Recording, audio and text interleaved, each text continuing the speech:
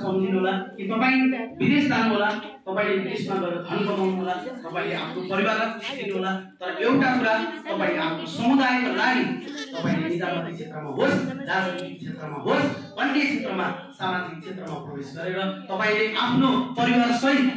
आफ्नो परिवारलाई खुसी सहित त्यस पछाडि आफ्नो समुदाय र यो राष्ट्रको लागि तपाईँले सहयोग गर्नुहुनेछ भन्ने मैले विश्वास दिएको छ। र यो पद्म कन्या भूमि क्याम्पसको जुन संस्था छ सुविधा छ तपाईँ